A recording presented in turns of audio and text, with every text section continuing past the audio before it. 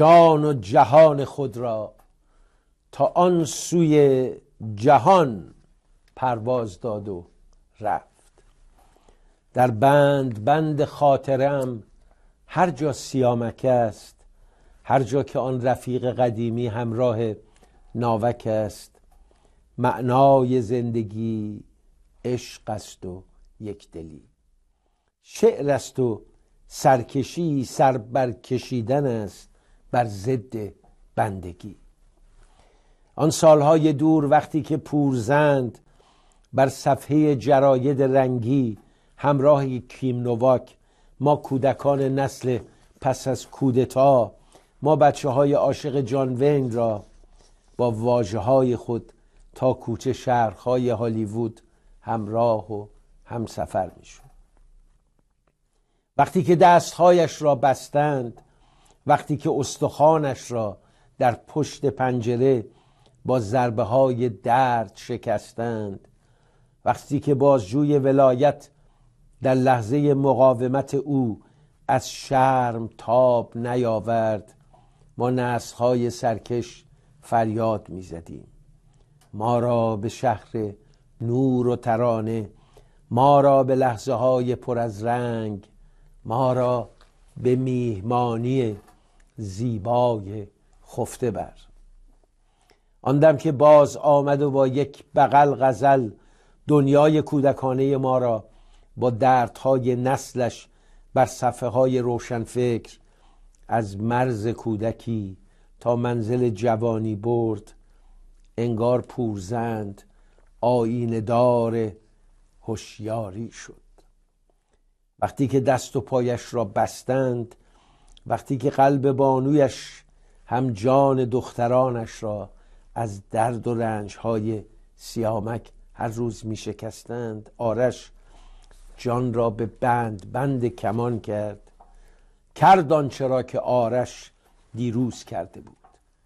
همان کرد. از بام شهر خسته در بند پرواز کرد. آزادی وطن را آواز کرد و علیرضا نوریزاده سه شنبه 23 مهر ماه 15 اکتبر به شما سلام می‌کنم. دیشب خواب سیامک پورزند رو دیدم.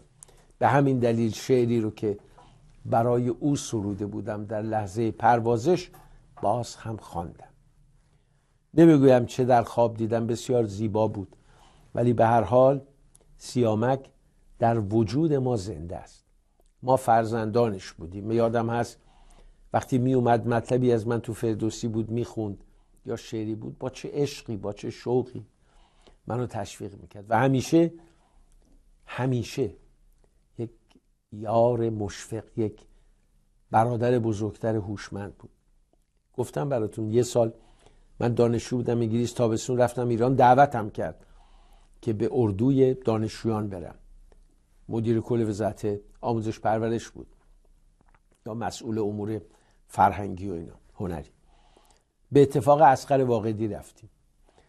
اسقر واقعی شاعر و از تهران تا اونجا شعر خوندیم با هم. در اونجا ما رو در ویلای خانم وزیر جا داد. آقای رجبی که معاون وزارت آموزش پرورش بود و من هرگز محبتاش از یادم نمیره امروزم در اتریش تشریف دارن و گاهی به من لطفم می‌کنن با تلفن ایشون هم در اونجا میزبان ما شدن. بنده جوان محصل و اسقر واقعی شاعر و اون همه مهر و لطف که نصار ما شد و سیامک این کار رو کرد. کلاس گذاشت برای بچه های جوون دانشجوها. کلاس روزنامه نگاری گذاشتیم. شبا با هم شعر میخوندیم. محمودی شباهنگم بود و چقدر زیبا بود. دیروز محمد رضا شاهید بهم زنگ زد و صحبت می‌کرد. گفت علی شبان رو دیده. من این دوستان قدیمی رو بسیار دوست دارم. چون با هر کدومشون زندگی کردم یه صفحه زیبایی هست در دل و جان و خاطرم. شبان به اتفاقی در دوستانش دانشجوی دانشگاه ملی بود دستگیر شده بود و به عنوان سرباز سفت فرستاده بودنش زاهدان و من او رو دیدم دو سه شب با هم چقدر شبای زیبایی داشتیم. خیلی جوون بودم. سال دو دانشکده بودم سال سه. و با علی شبان چقدر گپ زدیم و گفتیم. یادش بخیر.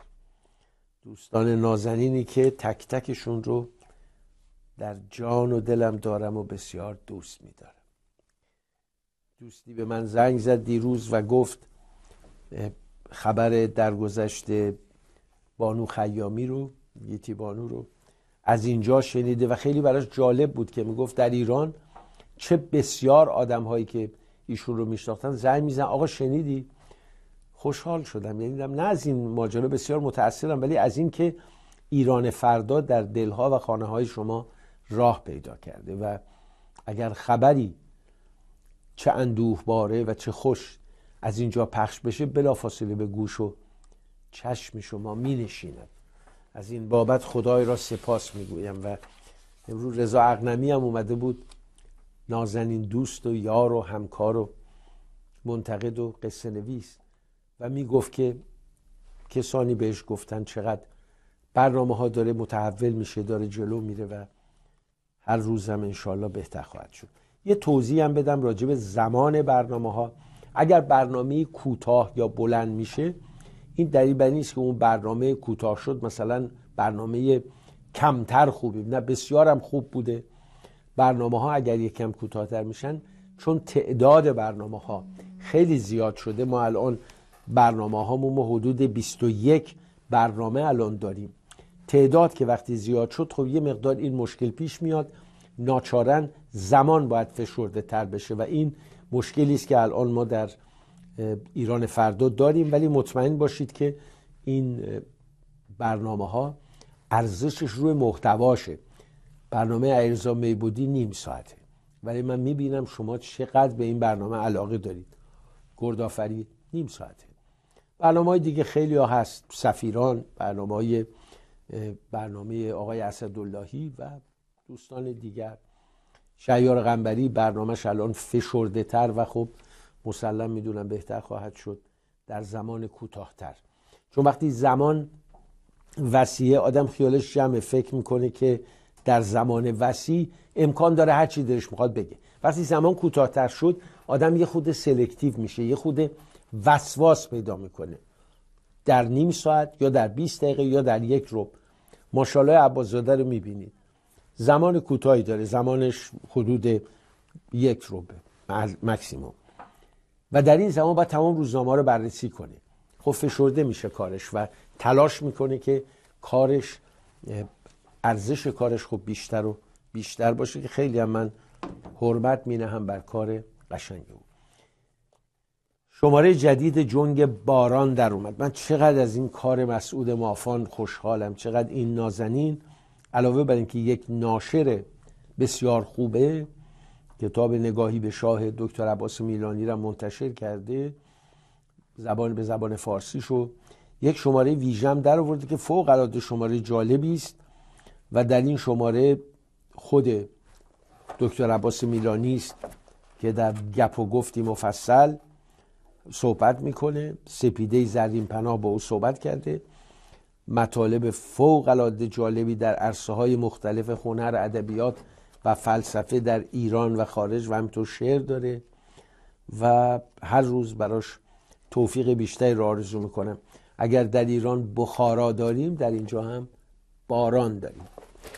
اینا رو باید بگیرید بخونید اونایی که در خارج هستن حداقل و تشویق کنید. مسعود نازنینی که خیلی مختصر با فشار در استکهلم آغاز کرد و امروز یکی از برجسته ترین ناشران خارج کشور. بریم به سر احوالات به سر روزگار وطن. داستان قریبی است. آقای هاشمی رفسنجانی میاد میگه که روز 22 مهر ماه با روزنامه جمهوری اسلامی صحبت می‌کنه. درباره طرح موضوع امکان حذف شعار مرگ بر آمریکا در شرایط کنونی میگه که بله این خاطر مربوط به سالها قبل بود رو گریبانش رو گرفتن. و شاید اینایی که تو سایت منتشر کردن بی سلیقگی کردن. چون آقای توکلی گفته بود این باید تحت تعقیب قرار بگیره غیر مناسبه و جالب اینه. وقتی حمید انصاری قائم مقام مؤسسه تنظیم نشر آثارهای خمینی با سایت جماران گفته بود که بنیانگذار جمهوری اسلامی با حذف شعار مرگ بر آمریکا موافق بود. خاطری که آقای هاشمی گفته مربوط به موافقت و دستور امام بر قطع این شعار از رسانه های دولتی است. مطلبی که در سال 62 روی میز بررسی و تصمیم گیری مسئولان بود. روزنامه کیهان دم از خیانت می‌زنه. حسین بازجو مثل همیشه داد و فریاد حمله می‌کنه به روزنامه های اعتماد شرق بهار که چرا این خبر رو چاپ کردن و از وزارت اطلاعات و وزارت ارشاد میگه این پایگاه های مطبوعاتی رسانه های دشمن شد من یه توضیح می‌خوام براتون بدم که اونهایی که روشنندیشانه به تحولات نگاه می‌کنن شادمانن از اینکه بین ایران و امریکا دیالوگی برقرار شده. خوشحالن از اینکه این احتمالا منجر به این میشه که مردم آسوده تر زندگی کنن. منجر به این میشه که تحریم ها فشارش کمتر بشه. بعضی از تحریم ها برداشته بشه. اینها از این حادثه ناراحت نیستن. اما دزدان سرگردنه مافیایی که تحریم ها اونا رو به میلیون ها و میلیارد ها رسونده ناراحتن. حسین بازجو روزنامه کیهان رو مؤسسه کیهان رو اداره می‌کنه. ولی دستش در کاسه حاج عبیب مطلف هم هست. دستش در کاسه خیلی از این دزدان مافیایی هست. دستمزد می‌گرفته از آقای دکتر خالدی شرکت نفت. و انواع اقسام اینا. و اینا ناراحتن. اینا کلافن. اگر مسیر رویدادها با آرامش و اعتدال به سوی تفاهم بره مسلما مردم منتفق خواهند شد. دیروز در گفتگو با دکتر فربخش چند جمله بسیار جالب گفت. دیروز بعد از ظهر دوست نازنینم علیرضا میبودی هم با من مصاحبه می‌کرد تو برنامهش در تلویزیون پارس. به این نکته اشاره کردم. دکتر فربخش یه حرف خیلی جالب زد. گفت دوران جمهوری اسلامی به سر آمده. این مهم نیست که الان بیام آقا چیشی به سر آمده؟ اینا که سر جاشونه. نه سر جاشون نیستن. جمهوری ولایت فقیه ده سال قبل دوازده چارده سال قبل سیزده سال قبل در یه موقعیت قدرتمند استثنایی بود. رئیس جمهوری داشت محبوب مردم بهش اعتماد داشتن. در عرصه بین المللی صاحب اعتبار و حرمت بود. ذخیره ارزیمون علا رقم تمام کاستی ها و سقوط وحشتناک قیمت نفت کامل بود. اومدن صندوق فائز نفتی گذاشتن. درآمدهای اضافه نفتی رفت تو صندوق. خاتمی یه میلیون می‌خواست برداره باید اجازه می‌گرفت از مجلس. می‌رفت و تازه بهش اجازه نمی‌دادن. پروژه های ناتمام می‌خواست تکمیل بکنه. نمی‌شد. در چنین شرایطی رژیم جمهوری اسلامی که می‌توانست قدرتمندانه با فضایی که در عراق در اون زمان بود و ایران از اعتبار برخوردار بود در افغانستان بود در لبنان بود. حکومتی دوست سر کار بود. به جای اینکه بیاید و از این فرصت طلایی استفاده بکنه و با آژانس و با جهان به تفاهم کامل برسه. همین آقای روحانی قرارداد سعدآباد رو به امضا رسوند. تو سانترفیوش ها متوقف شدن. ایران شروع کرد یک اقدامات سنجیده رو انجام دادن. اما افسوس در پس پرده همان کسایی که امروز حسین بازجو رو تقویت می‌کنن دست به اقداماتی زدن که وقتی فاش شد هم آبروی خاتمی رو برد هم اعتماد جهان رو سلب کرد. وقتی فهمیدن اینا یواشکی دارن سانترفیوژ های جدید می‌سازن. آقای روحانی اشارتی, اشارتی بهش کرد. وقتی فهمیدن که اینا برنامه اتمی نظامیشون رو دارن دنبال می‌کنن. وقتی دستهای امنیت خانه جمهوری اسلامی در قتل رفیق حریری بیرون افتاد. اینا دونه دونه اعتبار و منزلت رو شکست کاست. وقتی در عراق دیدن چه شد. مصاحبه کرده مقتدا صدر با موعد فیاض خبرنگار شرق الوسط که به عراق سفر کرده و در نجف با او سخن گفت. چند نکته جالب داره که به نظرم واقعا باید بهش اشاره کرد. مثلا از او می‌پرسه که آیا تو به اجبار مالکی رو پذیرفتی به عنوان رئیس الوزراء چون اون وقت مخالفت می‌کردی. میگه استرار بود. فشار بود ولی استرار بود. همه منو متهم می‌کردن تو مانع از تشکیل کابینه شدی. میگه که آیا فکر می‌کنی یه بار دیگه هم نخست وزیر بشه؟ میگه مدل حیات برای تمام عمر. برای اینکه میگه همه شیعه ها ضدشن چی شده؟ میگه آره درسته. ولی اونجا اعوان و انصارش نشستن تو شورای انتخابات و حمایت خارجی یعنی جمهوری اسلامی هم داره. و اینا باعث میشه که جلوی اون نماینده واقعی مردم رو بگیرن اون کسی که باید انتخاب بشه. میگه که آیا فکر می‌کنی که مالکی مثلا با حکومت نظامی یا با این حرفا می‌خواد باقی بمونه؟ میگه نه. چنین چیزی نمی‌تونه القای انتخابات نمی‌تونه بکنه. و بعد اشاره می‌کنه میگه داستان این که تو عزلت گزیدی و باز برگشتی چی بود؟ معیوس شدم. این عزلت گزینی نبود یأس بود. دیدم یه دستم نمی‌تونم دست بزنم. و ناچار خانه نشستم. و بعد بعد صحبت می‌کنه راجع به مشکلاتی که با اوان انصار خودش داشته گروهایی که جدا شدن رفتن نوکر جمهوری اسلامی در بس شدن. بعد بهش میگه آقا این داستان درس خوندن تو تو قوم چی بود؟ میگه آره یه مقداری خوندم. به حال انشالله ادامه خواهم داد در آینده. شیش ماه قرار بود مشتهد بشن ولی مشکلاتی که الان وجود داره مانع از این میشه. میگه آیا تو داری دنبال مرجعیت میری؟ میگه بله ما همینجوری قبولمون نداریم. چه برسی به اینکه بخوام مرجع بشم. مسلم می‌خوام مشتهد بشم فقیه بشم. و فقه شیعه تفاوتی بین مرجع عراقی و عرب و غیر عرب نمی‌گذارد بلکه دانششون باعث می شود که اونها بتونن در این مکان جای بگیرن. آیا ارتش مهدی هنوز تحت کنترل توه؟ بله. چه ارتباطی با اصحاب اهل حق داره؟ اونا نه اونا آدمای عوضی هن. حالا میان پیش ما گاهی اوقات می‌خوان برگردن ولی من اونا رو دیگه قبول ندارم. فقط اگر توبه کنن البته بیان دست ما رو ببوسن.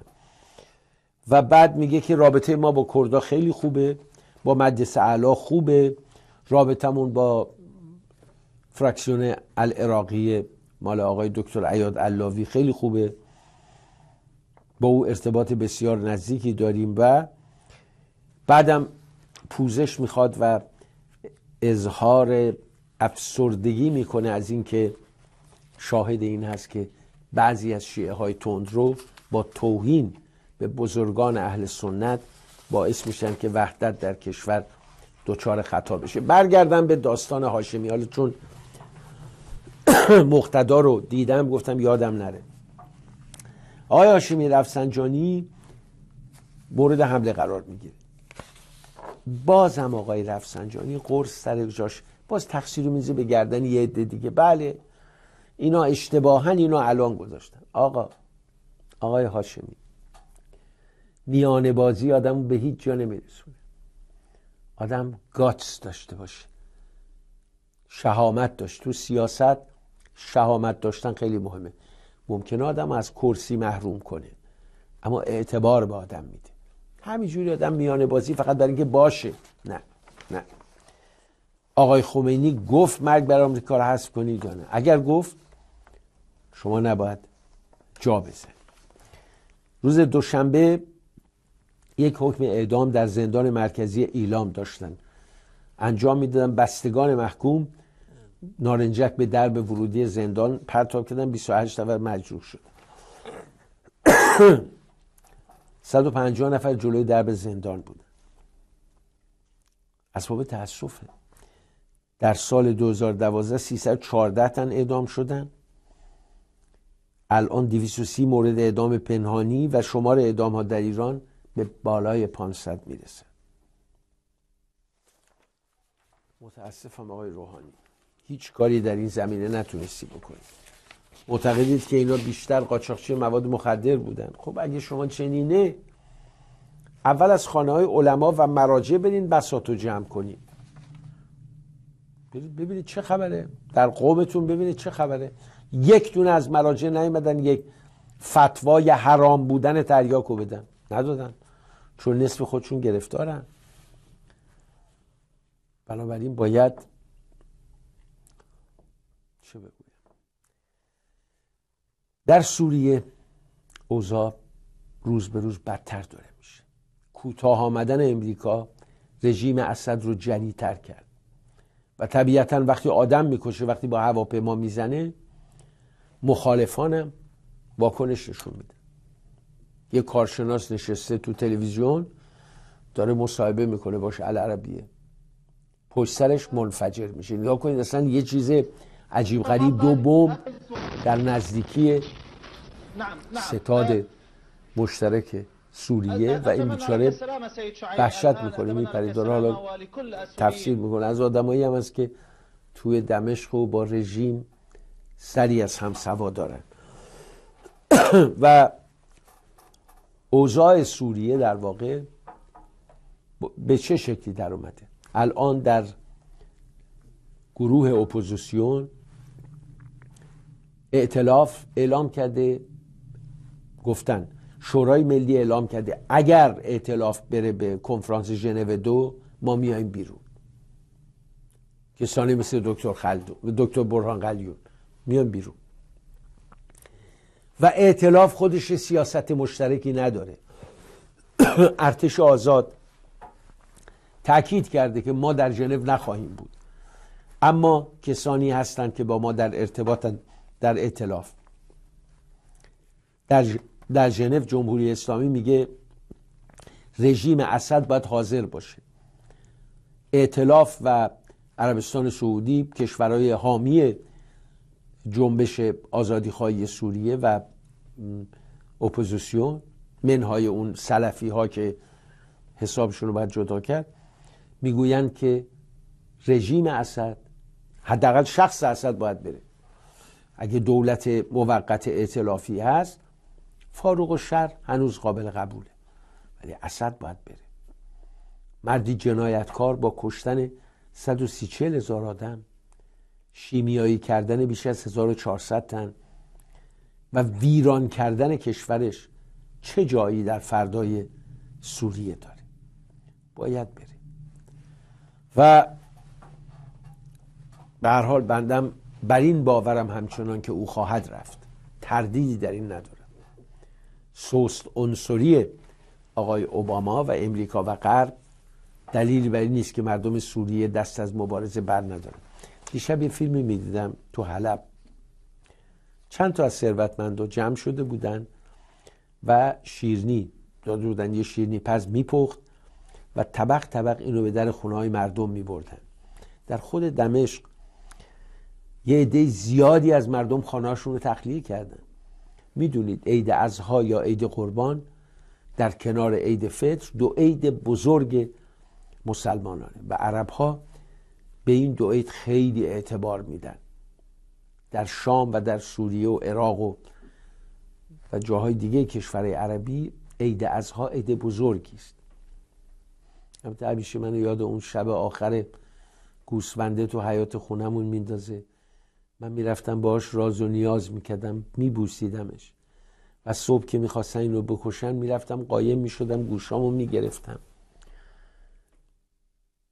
چقدر دردناک بود این گوسفند وقتی تو خونه جلوی ماها میکشتن. به هر روی. عید داره میاد. حالا راجع بهش صحبت خواهم کرد. یه درنگ کوتاهی بکنیم و باز کرد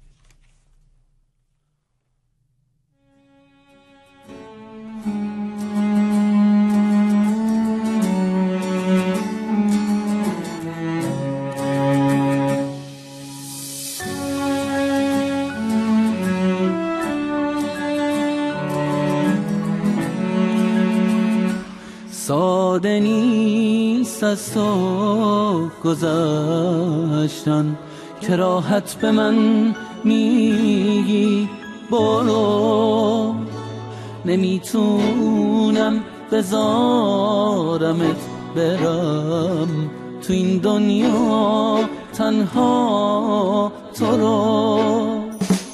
لحظه جدایی نشستم کنارت ولی باز با خنده گفتی برو.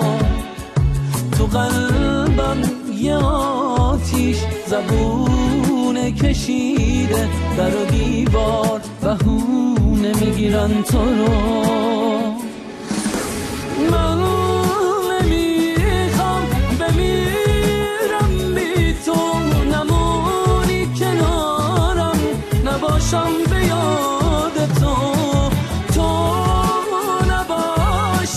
می‌گیره نفس هم نمی‌تونه قلبم میافتم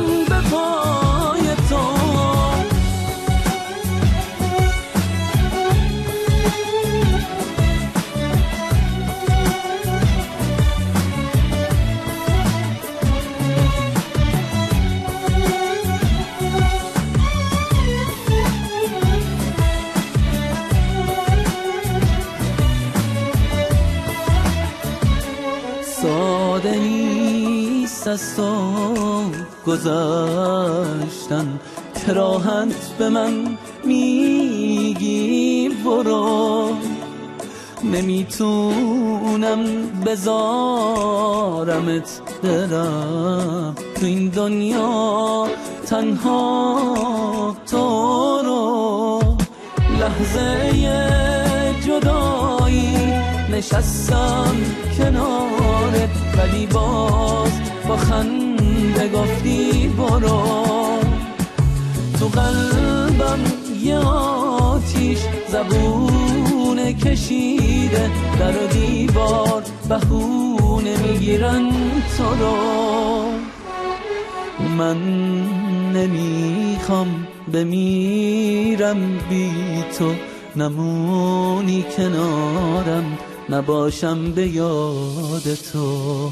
تو نباشی می‌گیره نفس ها نمی‌تونه قلبم میافتم به پای تو. من نمی‌خوام بمیرم بی تو. نمونی کنارم نباشم به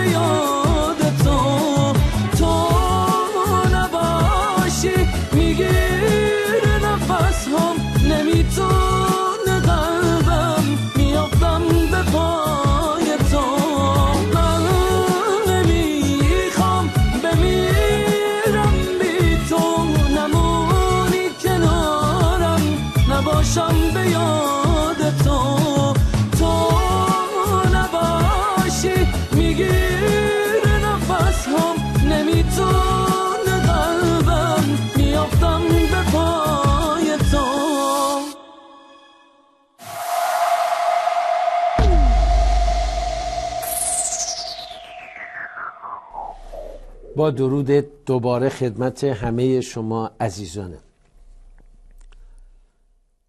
داشتم می‌گفتم براتون که در واقع ببخشید. روزگاری که ما شاهدش هستیم در سوریه می توانست در مصر هم تکرار بشه. چرا در مصر نشد؟ به خاطر اینکه در مصر برخلاف سوریه ارتش مزدور حکومت نبود.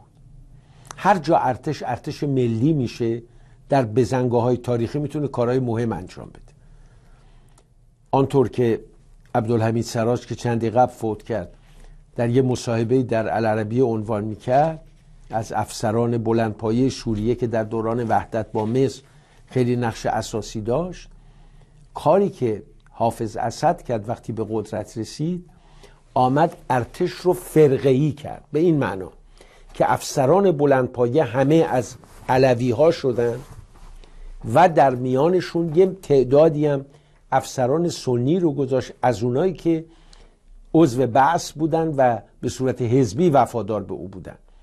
ارتش از اون حالت کلاسیکش که آمیزه ای از همه توایف بود و ملی میاندیشید در اومد و تبدیل شد به ارتش فرقه‌ای. ارتش حزبی. در مصر چنین نشد. نه عبدالناصر دست به ترکیب ارتش زد نه سادات نه مبارک.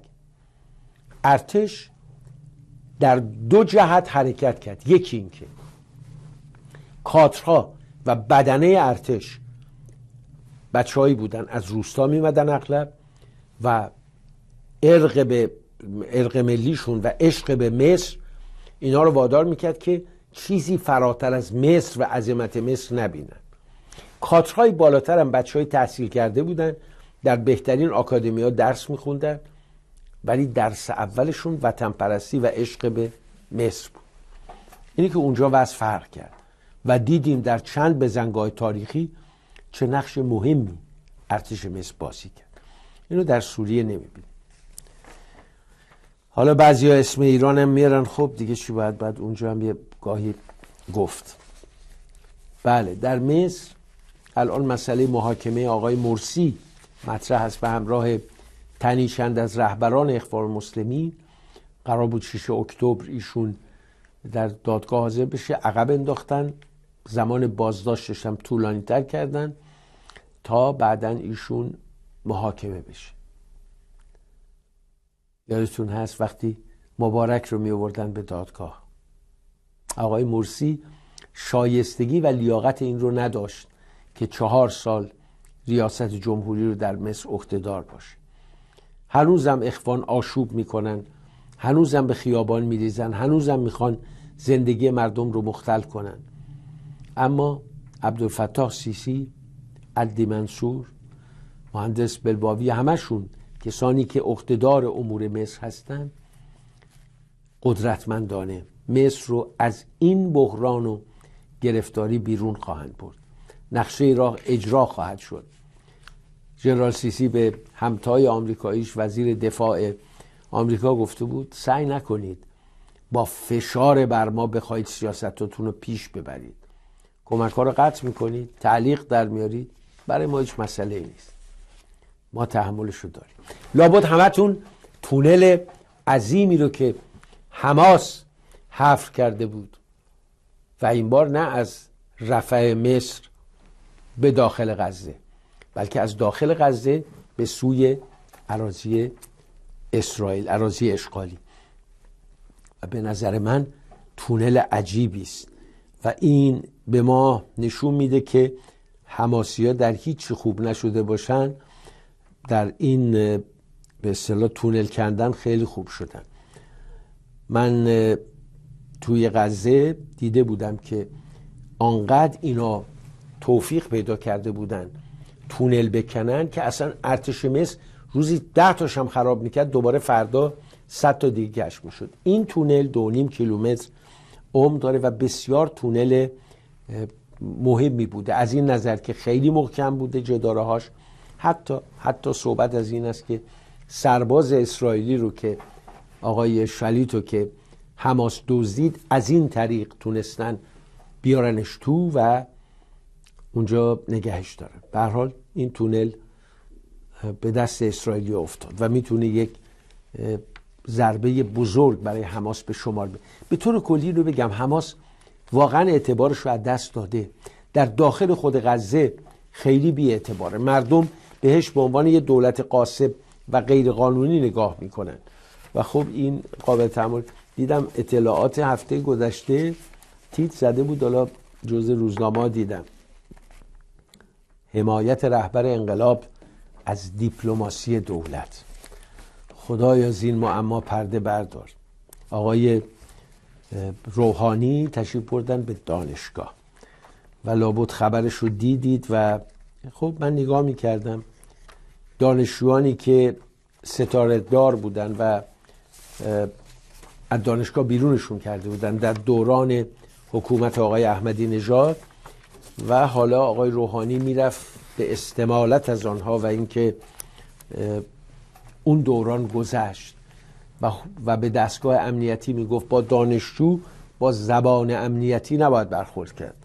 دانشجو رو نباید تحت فشار امنیتی گذاشت. حرفا حرفای معقول و منطقی بود. منتها امیدوارم این حرفای معقول و منطقی خاصیت اجرایی هم داشته باشه. اون اسباب تاسفه نکته یا خبر جالب دیگه خبری بود که آقای سردار جباری که ایشون از محافظان مسئول تیپ حفاظت از ولی امر هست. چقدر شبیه یکی از این هنرپیشهامونه زندیات گرجی. ها. پدر علی نازنی زندیات گرجی آره شبیه اونه اگه بخوان یه روزی از آقای گرجی فیلم درست کنن بعد نیست ایشونو بیارن برای بازی در این فیلم. بله ایشون گفتن که از آقای خاتمی و از اصلاح طلبان خوششون نمیاد. آقای خاتمی بدبخت به چه افتاده که جباری نباید از او خوشش بیاد. دیگه ببینید اوضاعش چیه. همین خوش نیامدن ها بود که منجر شد سید رو امامش هم انداختن و بی ها به او کردن. آقای روحانی وقتی رفتن به دانشگاه در روز دوشنبه دیروز برای بازگشایی دانشگاه به اتفاق جعفر توفیقی سرپرست وزارت علوم که در کابینه آقای روحانی تا امروز بالاترین نمره های مثبت رو گرفته. در تالار علامه امینی بودن حراست دانشگاه با همکاری نیروهای انتظامی جلوی استقبال دانشجویان از روحانی رو گرفت. درگیری پراکنده هم رخ تا چهار تا دانشجو دستگیر کردن نیروهای حراست. و آقای روحانی متأثر بود متاسف شد از چنین. یکی از دانشجویان در زمینه عملکرد مسئولان دانشگاه گفته بود که متاسفانه ریاست دانشگاه تهران با این اقدامات نشان داد که نمی‌خواهد جشن بازگشایی دانشگاه به کام دانشجویان شیرین باشد. چقدر اون روز ورود به دانشگاه سال اول روز دلپذیر و شیرینی است الان دارم فکر می‌کنم به یادش میام سال 46 خب ما ردیف های بالا قبول شده بودیم. وضعمون خوب بود. هر دانشکده می‌تونستیم بریم.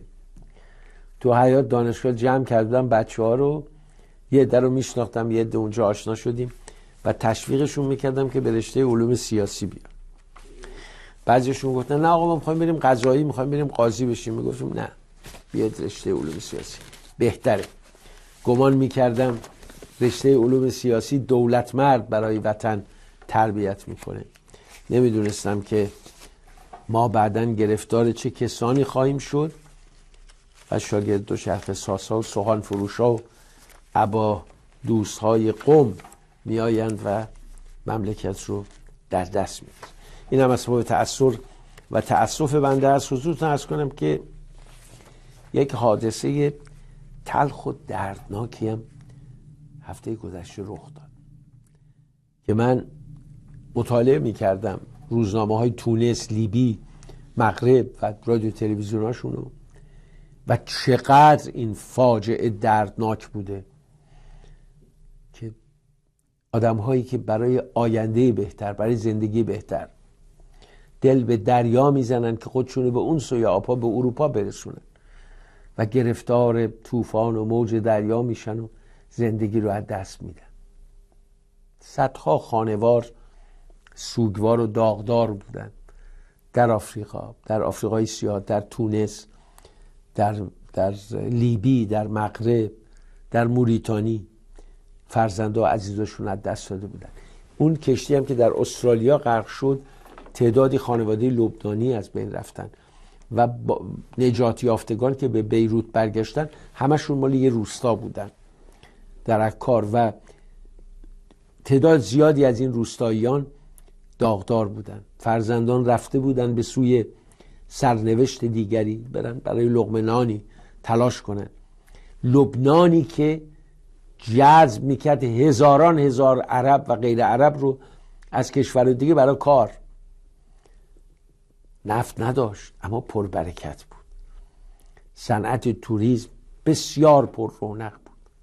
وجود منحوس حزب الله و نوکران جمهوری ولایت فقیه لبنان رو بعد از آن که قرارداد طائف بسته شد رفیق حریری اومد لبنان رو بازسازی کرد وسط بیروت رو سولیدر رو درست کرد دوباره کشون به روزگار نفرت و کین.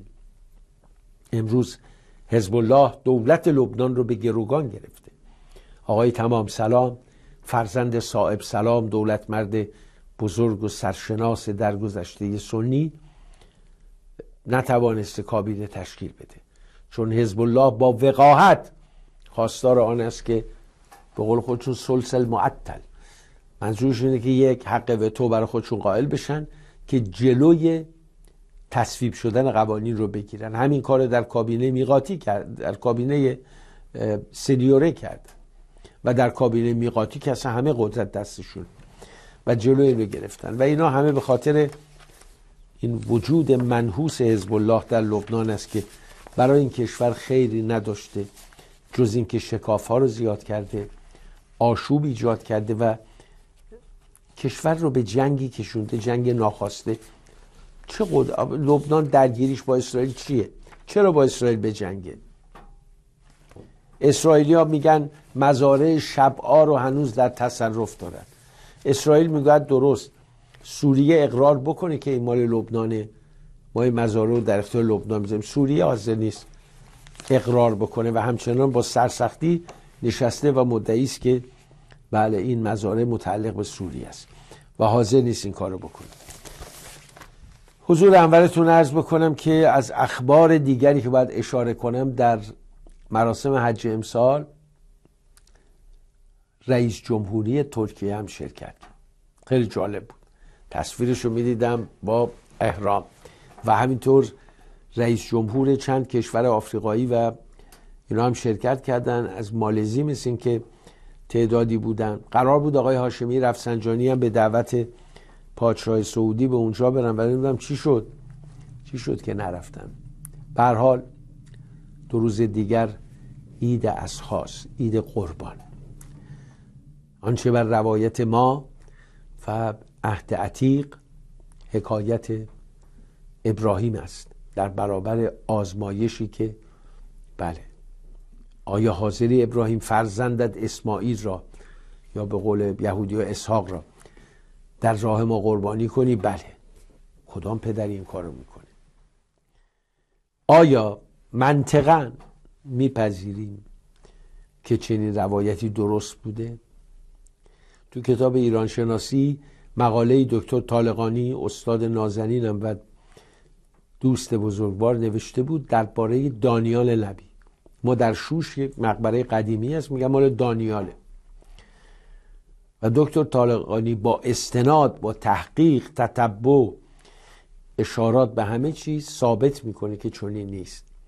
و احتمالا آن جسدی رو که ابو موسی اشعری پیدا می‌کنه در حمله به شوش که در قصر پادشاه یه در بسته بوده باز می‌کنن. جسدی تو جعبه آینه است پیداست. لباس زربفت بر داره. و میگه دانیال اگر یه حکیم یهودی بوده که لباس زربفت تنش نمی‌کرده. آدمی که وقتی بخت و نصب بهش پیشنهاد امارت میده حاضر نمیشه. میگه من به سه تن از یارانش میگه شما برید امارت بگیرید من میمونم به عنوان مشاور. مشاور او و پسرش و ولیعتش هم میشه. و بعدم به ایران میاد و تو حکایتی که در ایران است پنجاه ایرانی پنجاه نفر گروگان میده به بابلی ها در مقابل دانیال رو بیاره که نماز استقصا براشون بخونه. دعای طلب باران کردن. و به قول دکتر طالقانی وقتی کارونه به اون پهنا داره اونجا میره چرا در طلب باران کنه؟ به هر روی خیلی تحقیق جالبیه. خیلی بر من جالب بود خوندم. و او در پایان نشون میده که این جسدی که عرب ها پیدا کردن جسد بهرام گور بوده. چون اگر دانیال بود بعد از هزار سال حتما جسد پوسیده بود. ولی بهرام گور که 180 90 سال فاصله شه می‌توانست زنده باشه. ضمن اینکه ابو موسی میگه در دل رودخانه رودخانه رو مسیرش رو برمیگردونن جسد رو اونجا دفن می‌کنن. در روایات هم هست که در داستانهای تاریخی بهرام گور بهرام که گور می‌گرفتی همه عمر دیدی که چگونه گور بهرام گرفت. در شکار گور خر در تالابی فرو میره در باطلاق و نیست میشه. دکتر طالقانی گفته بود این نیست شدن رو باید به اون کاری که ابو موسی کرد. بعد ابو موسی به عمر خلیفه دوم می نویسه انگشتری در دست دارد. که دو شیر و یک تاج بران است. بهرام گور تاجش رو از میان دو شیر برداشت. دانیال نبی نمی‌تونسته چنین انگشتری به دستش باشه.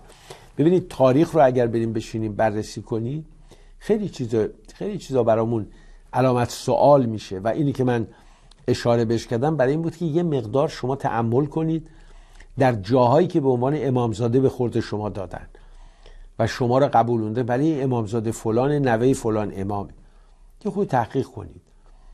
یه امامزاده ای که پسر امام موسی کازمه بر نوک یک کوه توی مازندران یا توی خراسان اونجا شکار می‌کرده اصلا چجوری شده رفته اونجا؟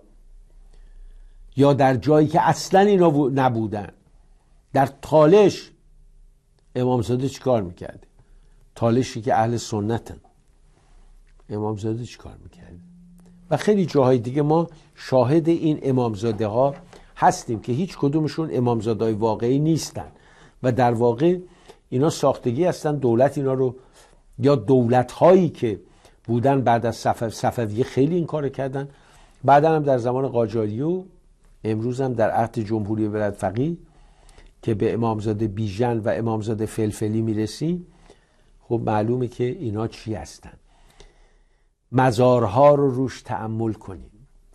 ما تا زنده هستیم از دانش ویژگی های افراد بهره ببریم. وقتی درگذشتند و با هفت هزار سالگان سر به سر شدن هرچه هم فریاد بزنی به گوششان نمی‌رسد. و یک مسلمان واقعی اگر, اگر اعتقاد به اسلام داره میپذیرد که انسان وقتی که درگذشت روح به قول خودش از بدنش پرواز می‌کنه. پس شما رفتن و به یک جسم بیجان که بعد از هزار سال هفتصد سال دو هزار سال خاکسترش هم نمونده دخیل بستن این شما رو به جایی نخواهد رسوند. این همون کاری است که بتپرستان با بتها می‌کردن. در واقع بتها وسیله بودن که اینا می‌خواستن از طریق اینا به خدا وصل بشن. خدا رو خودتون صدا کنید. خودتون ببینید. گفت آن روز که رفتند حریفان پی هر کار حاجی به ره کعبه و من طالب دیدار او خانه همی جوید و من صاحب خانه. مهم اینه که در اعتقادات انسانی آدم دنبال اصل باشه. همینجوری حیران دنبال سایه مرغ هوا ندوه. امامزاده شما رو به جایی نمیرسونه اما تلاش و کوشش میرسونه. یه توکل الله و بعد خداوند کمک خواهد کرد. من به پروردگار بزرگ اعتقاد دارم بسیار دوستش دارم و بر این باورم که انسان اگر بر خودش و در خودش خدا رو پیدا بکنه وقت مشکلی نخواهد داشت. گوش به این آخوندا خوباشون نمیگم خوباشون کاری ندارن کنار نشستن. اما اینایی که این امامه کردن وسیله ارتزاق و فریبکاری اعتماد نکنید. پروردگار رو دوست بدارید. ایران سربلند. ایرانی سرفراز پرچم زیبای سرنگ شیر و خورشید نشان. هماره برافراشته باد. علی رضا نوریزاده تا فردا همه شما عزیزانم را به پروردگار عاشق می سپارم.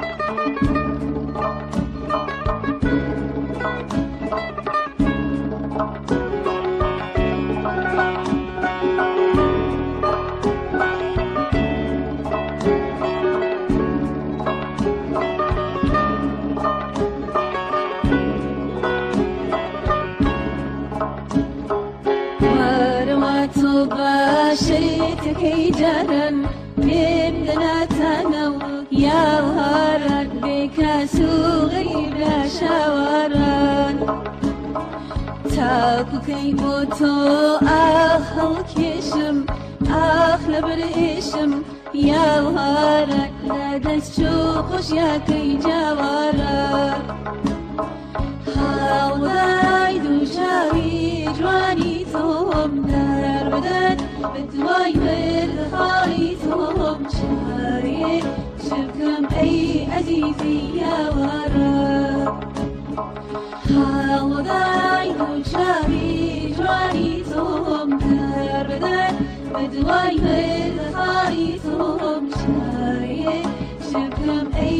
easy.